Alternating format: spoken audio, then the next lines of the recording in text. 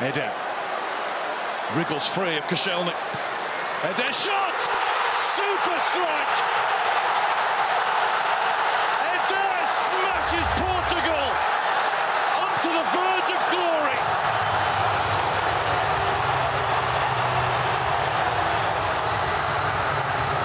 The Stade de France stunned,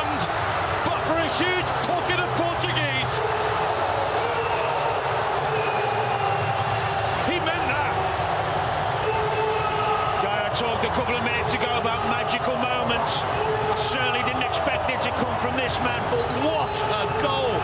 We talk about strength, touch, and why not? Smashes it in the bottom corner. What a goal!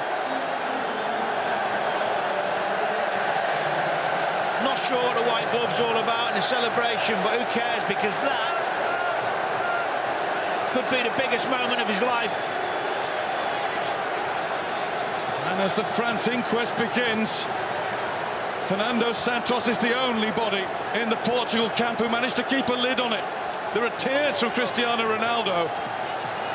They're almost there. They've got just over 10 minutes. Sissoko is off, and finally Martial is on. Rescue mission for France.